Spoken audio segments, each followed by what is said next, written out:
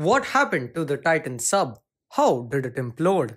In this video, we shall explain just that with a very cool demonstration. After emptying out a Sprite can, we filled it up with water. Next, we boiled the water inside, the energy making the molecules excited, converting them to water vapor, a gas. The more heat energy applied to the gas, the more the gas spreads. This also increases the pressure inside of the can because water vapor pushes against the aluminium walls. Upon putting the can into the ice bath, the water vapor will condense back into liquid water. This will lead to less molecules pushing against the sides of the container and hence the pressure inside will decrease.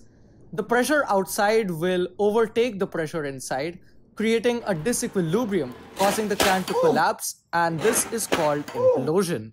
Now, let's compare the Sprite can to the Titan sub. The Titan sub sank at June 22nd when it was 3.8 kilometers deep. At 3.8 kilometers deep, the atmospheric pressure is approximately 400, whereas on the surface, it's only 1. The further down you travel, the pressure increases. To give that context, our brain takes about 100 milliseconds to process pain, and our eyes take only 13 milliseconds. So the five passengers wouldn't register the event as it happened. If this video provided value to you, be sure to sub to the channel.